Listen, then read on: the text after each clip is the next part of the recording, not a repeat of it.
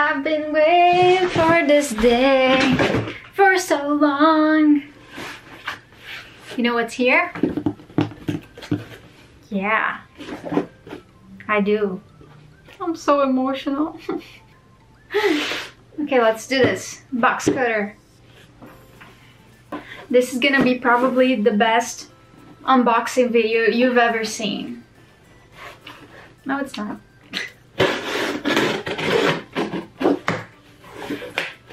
Oh my god, I see him. ah, it's so cute. This bubble wrap, isolating. My new scarf. Do you like it?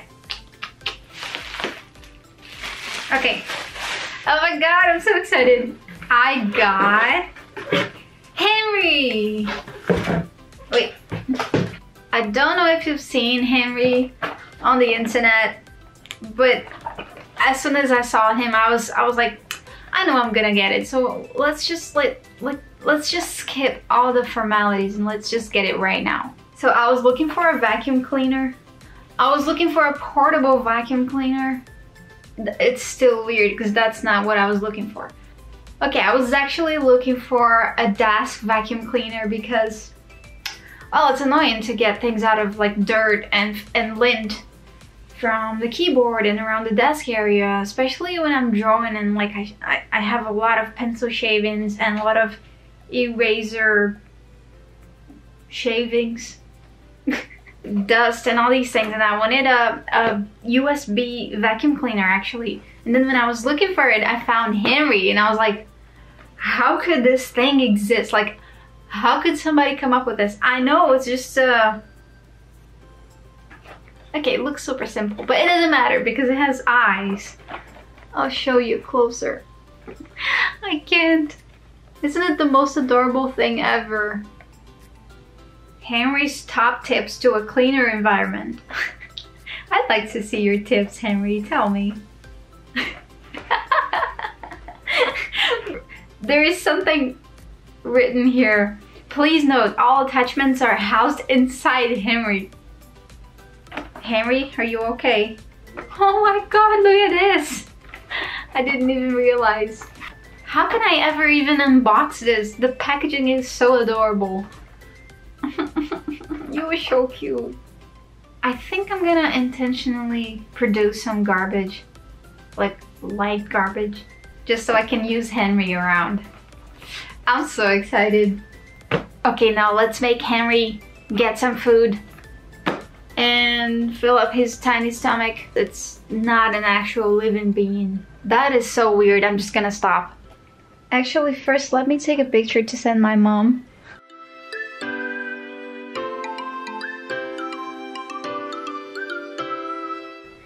Shiny. Oh my god. it looks like something from a dollhouse. Let's give him some energy. Got it?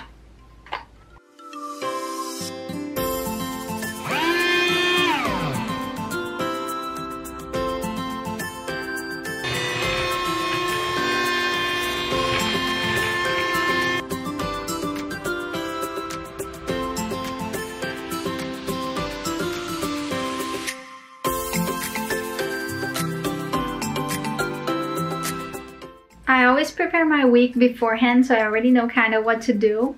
Like this is the little planner that I made. This is last week. And I also have some things on the back. So for this week, I'm gonna try embroidering my sweater for the first time. I also want to edit a stop motion that I filmed last week about my zine. I have a photo shoot of my products that are going up to my shop that I have to edit and take the pictures you first take the pictures and then you edit if not. And of course I always want to paint something with markers because it's been such a long time. I'm like this crazy person who has so many mediums to work with and then I keep jumping from one to the other. and then I just like it's I'm constantly in a situation of missing an art supply. Like I just painted with Copics, now I'm missing watercolors, then I tried something with gouache, now I'm missing Copic paintings. It's like this huge mess that I love. And if it's this mask that makes you draw more and paint more, like that's a beautiful mask to have. I would like that mask. so yeah, let's see how that goes. It's nice to tell you what I want to do with my week because then if I don't do it, you can hold it against me, I guess. Anyways, let's get started. Let's go. My hair is always a mess. I already gave up like curly hair. If you have curly hair and a lot of hair, please tell me how you deal with it because like I don't know. Still trying.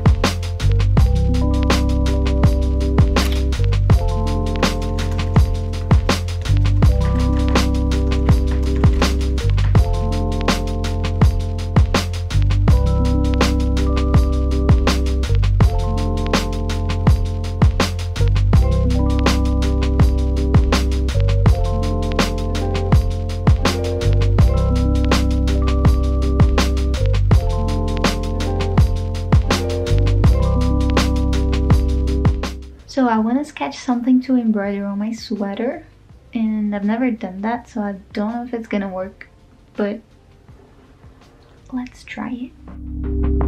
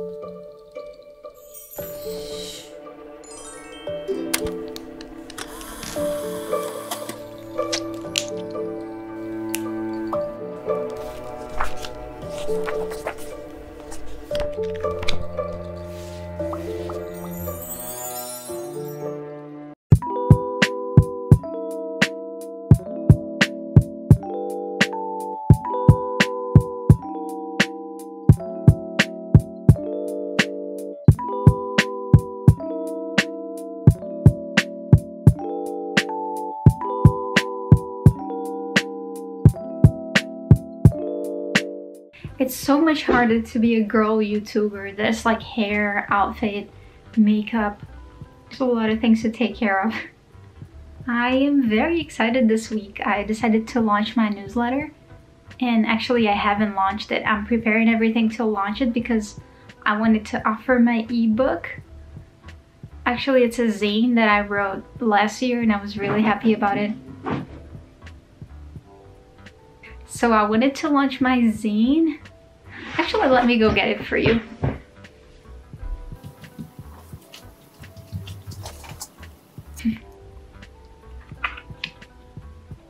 Let me show you my favorite spread.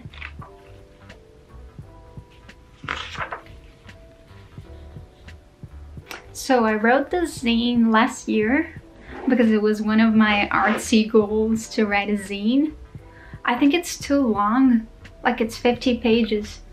So I think it's too long for me to try to sell it because it's gonna be like too expensive to, to prepare it in bulk.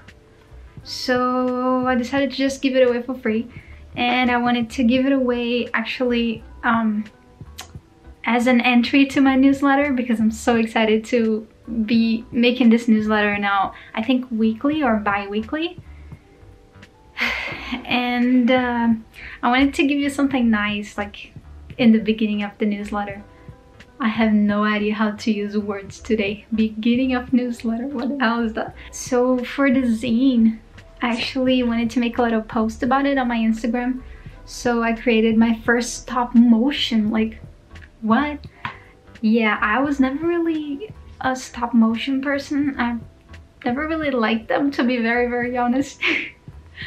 um, I don't know why, they just don't appeal to me. I, find them very weird. It, it, I'm sorry. I know it takes a lot of work and now I know even more that it takes a lot of work.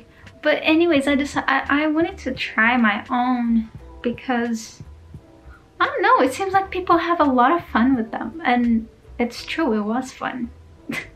this week I was having so many breakthroughs with the content that I was consuming through social media, social media. Um, like through content I was consuming, like uh, podcasts that I was listening to and videos on like the business mindset, I guess. And I have so much stuff to share that I just want to make this newsletter like to share it with you guys because it's like so interesting and I, I, I love getting content in, in like like one big piece of email that I have like tons of links and then I can click and save for later and then digest it throughout my week and then I would love to give it away for you as well. And I find a lot of things throughout my week and anyways I just wanted to share stuff. Apart from that I was thinking and watching videos on how like we artists are always so scared to offer things. And it's just like weird how so many people feel it. And we we just don't talk about it or we just don't feel it properly. And then we just like feel bad for not like not making money as an artist or not knowing how to go about it. For example the biggest one is like how we were always scared to make offers and to promote ourselves and to like ask for things or just like to put the world out there for our own products. We often think people are gonna look down on us or that the work should speak for itself. Like we're just gonna make good work and put it there and then people are gonna see it and be amazed and and i don't know buy it or share it. We tend to think that if it's good it's gonna sell itself and then if it doesn't sell itself it's because it's not good. And it just doesn't make any sense because it's like we were all so scared and taking things so personally like i'm not good enough or my art is not on the right level I, I was thinking today that it's kind of the same thing we feel like when we apply to jobs. It's kind of the same scenario, like you're offering your services to somebody or to a company. We send away our CVs and our portfolios. Then if we get a no or if we don't hear back from them, for especially if it's the first few times we do it, it's like it feels so bad. It feels like like you're being rejected or that you're not good enough and and uh, it just feels like the end of the world. when I was looking for an art job, I was feeling so weird because I had all these logical thoughts to back it up, like finding reasons that I would not be accepted. For example, I knew that my work could not be a fit for the company, for example, my style or the things that I'm good at. Or two, maybe they just don't have a budget to hire new people right now. Or three, it's just not good timing because I don't know, maybe they just hired somebody else. Even like maybe it's another area, but still they already hired somebody else. They're already like training somebody. So maybe it's not a good time for you to come in. Or maybe it's not good timing overall. Like maybe they're they have something going on right now. Like they having an event or an exhibition that's taking a lot of their time and efforts and they don't really have the means to look at your things and consider everything or maybe the boss is traveling somewhere. You know, these things are really simple. Or simply like they don't like my work, which is completely normal. And it happens all the time to us. Like we look at things every day that we're like, nah, uh, not for me. Like this, I don't like this, or I'm not gonna follow this person. And it's completely normal. But when it's our time to be like rejected or to be one of those people who somebody else doesn't love it, it's so hard to accept. And it sounds a bit like pathetic to think that even though I had all these logical reasonings, I still fell for the emotional paths because, well, we are humans and we have emotions, right? We're not 100% logical beings. So, and I literally cried for those emotional parts, having all those other logical reasons to back me up. It's crazy. So it's really when we're on the other side, on the company business side of the things that we get the other perspective that it could be just bad timing and not really your worth attached to it. But I guess it's very understandable because before that perspective, you're just like on your own world, so you don't really understand how it works, and then all you can think of is yourself. Eh, that's why the beginnings are so tough because you only have your own point of view but I guess all we can do is keep studying, keep learning, keep evolving, and try again. Right? Yeah, I want to tattoo that on my face.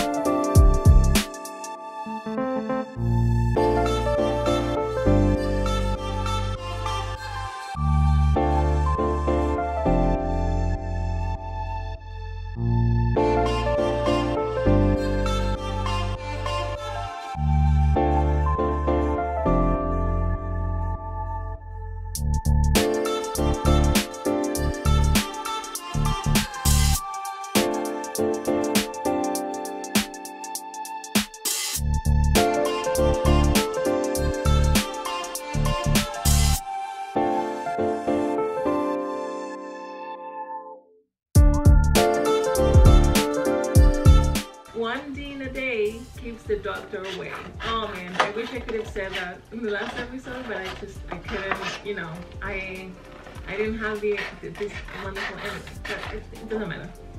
Cute. Anyway, um, I don't know the other names of the villagers, but um, I've I've seen so many people that have to go out. People that have kids, people like especially young kids who ha who have to go out because otherwise either they're too active or um, they're just like um, I don't know going insane by being inside for too long uh, people who own like who have pets uh, especially dogs who need to be walked. Um, people that I don't know they're uh, doing some kind of sport and they have to keep this uh, I don't know like physical physical you know what is the name of that you guys? When you have like a physical like a good shape. They have to keep having a good shape or um, any person who has to do, keep working like people at the post office. Uh, actively take from your schedule every single week. And that was something that put me uh, nervous. So I'm like yeah maybe I don't know I don't, I don't know if I want to do it. And this thing happened you know the pandemic. So I'm like okay this is now is the time for me to do this book because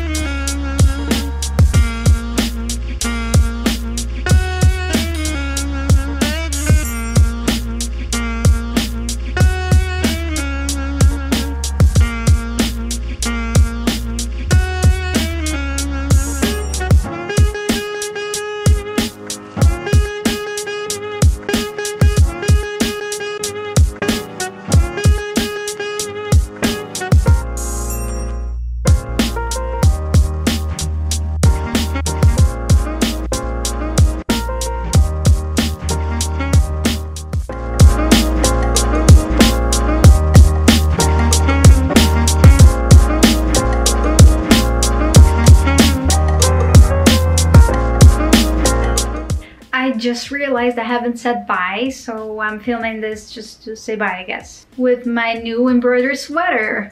Self-promo!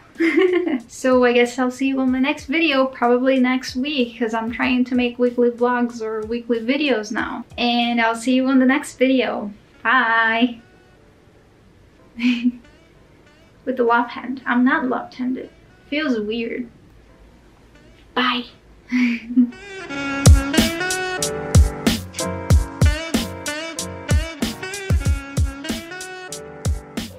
Hey, are you taking a nap? It's so comfy. I'm shy. Mm. I'm going to sleep. Good night. It's fucking suffocating in there.